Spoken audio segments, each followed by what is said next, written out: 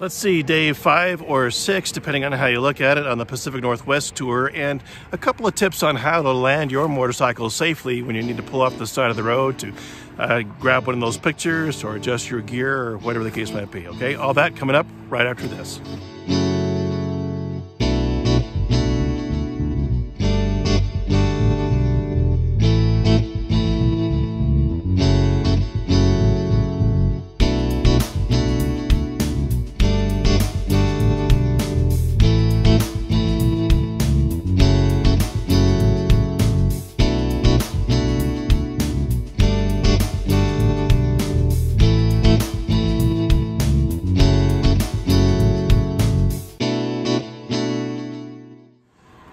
Welcome back to Utah ADV. I'm Eric Young, and I'm glad to have you back with me. It's been a little while since I posted last, about three weeks.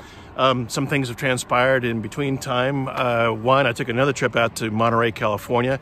Uh, I finished uh, rebuilding the Tiger. I put uh, a new windscreen on there and got a new radiator in place. So I decided to bring that back out to Addie, to my daughter in Monterey, so she could ride that and enjoy that before she uh, deploys as uh, as things go. So um, that was a nice trip to go out. We went for a ride or two as well, her and her husband and I. Some things learned along the way, and as as somewhat of a veteran rider, this, these things kind of uh, happen without even thinking about them anymore. But in riding with others who are kind of new, especially to a tall bike, um, there's some things to consider. So I wanted to kind of cover those very quickly with you uh, as far as. Um, and especially on the Pacific Coast Highway, Highway 101, going up the coast of California, Oregon, and into Washington, where you're on a, a windy two-laner that has a drop-off on one side. There's some some things that need to be thought about. Uh, when you decide to go through and pull over to take a picture. Now, the photographer in me is always arguing with the rider in me as far as what's a great spot to go through and take this shot? Is it safe? Can I pull over or is, can I frame it up here? Is this what I want? And there, a lot of times they're kind of in conflict. Uh, I'll see a great shot, but I can't find the area or the, or the safe space to go through and pull off and grab the picture. So that being said, there's kind of a, uh, a rubric, if you will, kind of a, a this background process that runs in my brain as far as how to safely land my motorcycle, especially in two-way traffic where the lanes are narrow and there's not a whole lot of shoulder there. Um, the first off, obviously, is uh, is safety. Can I safely leave the pavement and get off onto the side of the road with my motorcycle? And that takes into consideration is the shoulder paved or is it gravel? If it's gravel, is it rutted? Uh, what kind of gravel am I looking at? Because all that comes into consideration when it comes time for me to leave that position as well. If, uh, if I happen to get into a, a, corner where I don't have a line of sight as far as traffic coming, when I get back onto the road, that becomes a consideration as well. And the gravel becomes a consideration there too, because as I'm getting ready to mount back onto the highway and I'm feathering my clutch to get the speed that I need to get onto the road, to get out of anybody's way, if I have a short distance sight, excuse me, that's going to work against me. So I want to make sure that I have those kinds of ideas in mind that I can get in and out pretty quickly. And especially if I'm traveling with somebody else, do they have the ability to get in and out of there quickly as well and safely? So the first idea is this idea of safety. Can I see both ways getting back onto the road? And does the road surface allow me um, a, a quick mounting onto the pavement as opposed to having to feather my clutch and be careful not to uh, spin my rear tire uh, in gravel or in, in dirty, uh, sandy type of area that way. The second thing I consider uh, is stability. Do I have the ability to, to land my bike? Uh, not only in terms of my kickstand and the, the bike's angle to the road, but also when I put my feet down, uh, are they being put down in places where they won't slip out in terms of gravel or sand or anything like that is concerned? Um, also, how level is that plane that I've brought my motorcycle into? Okay, because if it's off one way or the other, my bike becomes a little bit more vulnerable to to tipping, especially if I'm dealing with uh, semi traffic, and that's not going to happen really on the PCH or the 101. But if I'm someplace else and I have semis blowing by, their wash is enough, and I know this by experience because it tipped over my KLR once, their wash is enough to go through and tip over a bike if it's not stable. So Do I have a, a, an equal uh, pavement there? Is it level enough for me to go through and put the kickstand down and keep the bike upright enough to where I don't have to worry about its stability?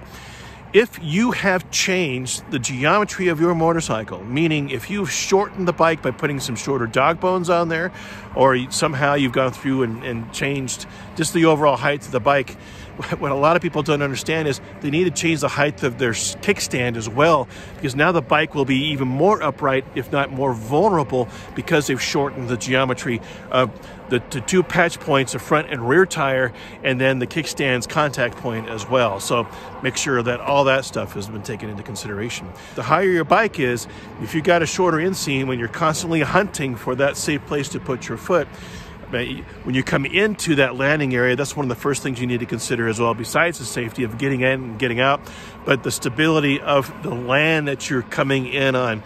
Can I put my kickstand down?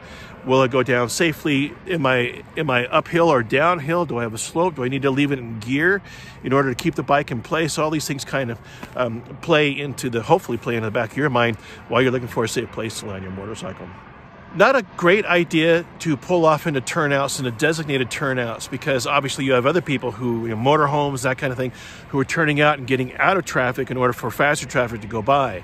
If you have to use a turnout, go to the very end of the turnout and stop there instead of anywhere in between, like the beginning or the middle of the turnout. So it still allows enough room for uh, RVs or slower vehicles to come in, get off the road, let the slower traffic go, and then for them to get back on, and then for your ability to get back on safely as well.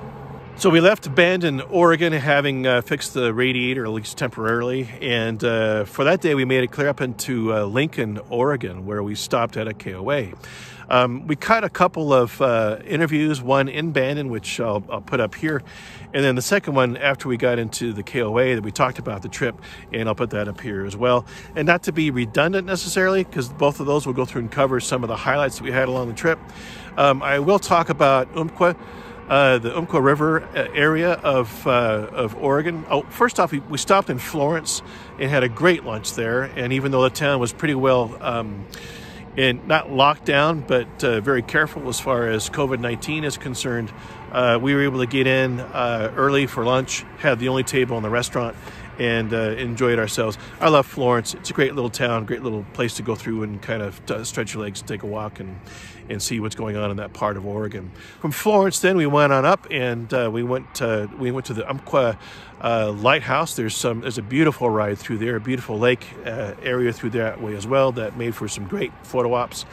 And from there, we went up along the coastline to Heceta, and I hope I'm saying that right, uh, where there's this wonderful lighthouse on the side of um, uh, of, a, of a hill that uh, overlooks the ocean. We couldn't really get to it there uh, because of the amount of people, uh, but there's a beautiful cove there as well. Anyway, we made our way into Lincoln and uh, spent our night there at a KOA, met some great people.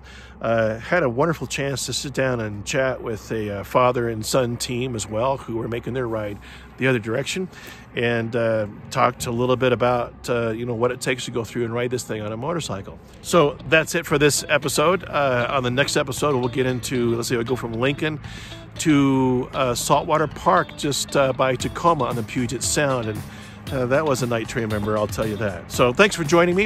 If you have any questions or comments, please leave them down below. If you like it, give me that thumbs up if you wouldn't mind. And if you've yet to subscribe, please do so. And I'm sure I appreciate having you along for the ride. Um, as I look forward into future episodes after we talk about the Pacific Northwest Tour, um, there's so much here in Utah to talk about and so many more rides to engage on.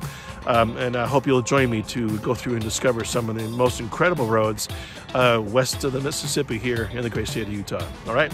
So, from the shores of the Great Salt Lake, um, I'm hoping you uh, keep that shiny side up. All right. All the gear all the time. Have a safe ride, and we'll see you on the next show.